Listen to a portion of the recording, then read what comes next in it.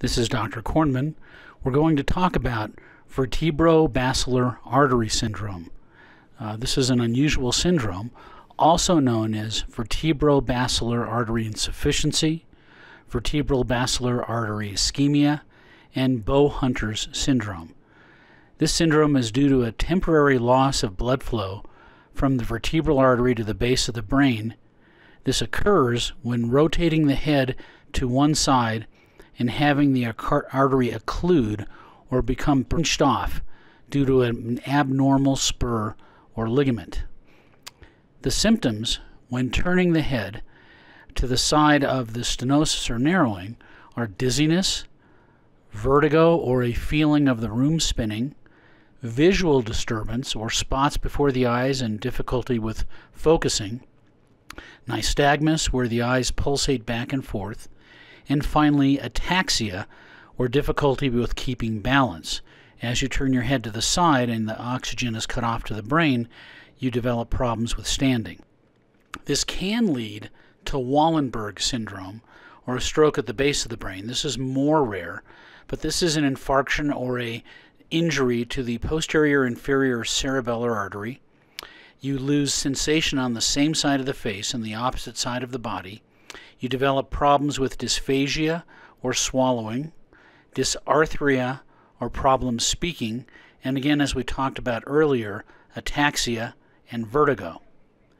The vertebral artery starts as a branch off of the subclavian artery in the upper chest, which is off the aorta. This artery, as you can see from the diagram on the sign, winds through the vertebral foramen from C6 through C1 and between C1 and 2, as you notice up on the top, it makes a sharp left or right turn, and this artery is stretched by the normal rotation between C1 and C2. Here's a case example.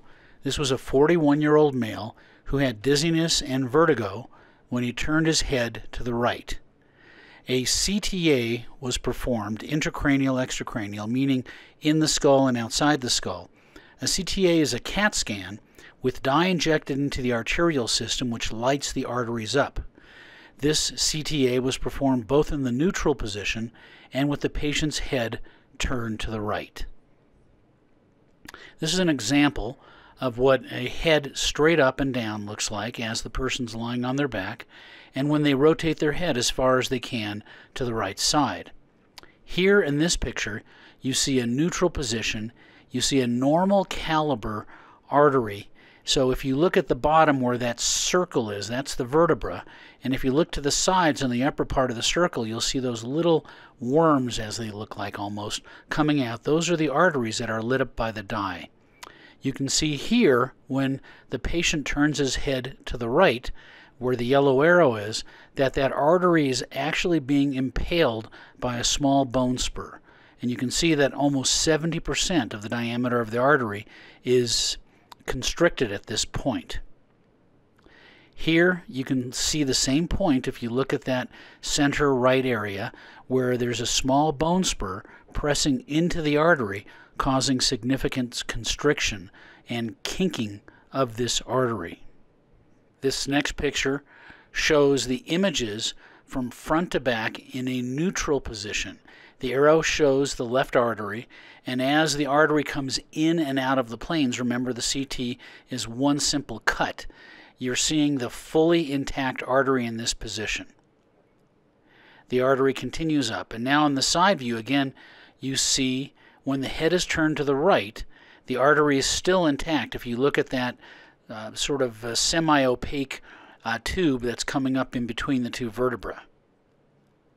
Now if we move one image forward, we will see the artery is constricted here. This arrow points to the diameter of the artery, which is probably only 20, maybe even only 10% of the initial diameter of the artery. This is where it was constricted, and this is where the blood flow stops. If we go just a couple images in front, again, you'll see the normal diameter of the artery as that relatively large dot, and that is where the artery continues to flow without restriction. This artery is constricted at the C12 level, And this is going to be a case from residency uh, where one of our radiologists contributed. On the left, this is an image of a digital subtraction angiography. This is where the bone is actually removed by the computer, so you only look at the artery. On the left side, you see where the artery turns around. You see where it makes a left and a right turn. If you go to the right side, it's a little higher, but on that right turn, you see how it really narrows down. This is where the narrowing or stenosis occurs. This is an image on the right where you can see a very faint arrow pointing to the additional spur coming off of C1 and on the left you can see those little claw spurs coming off the side. This is the problem. This is the structure that's compressing the artery and this is why when you turn your head to the side you end up having significant problems again with dizziness, vertigo, visual problems among others. This syndrome is called bow hunter syndrome. If you look at the picture on the bottom, you'll see that this archer is turning his head substantially to the side, and some of these bow hunters actually would fall out of their tree stands because of the vertigo and ataxia. It's called positional or rotational occlusion of the vertebral artery, and this insufficiency is secondary to a small uh, spur. It typically occurs at C1-2 because of the mechanical compression and the stretch of the vertebral artery, but it may occur anywhere along the vertebral course related to bone spurs or osteophytes, instability of C1-2, hypertrophy of the atlanto-occipital membranes, or paravertebral muscle bands, and the treatment of this is generally surgical. Thank you for your attention.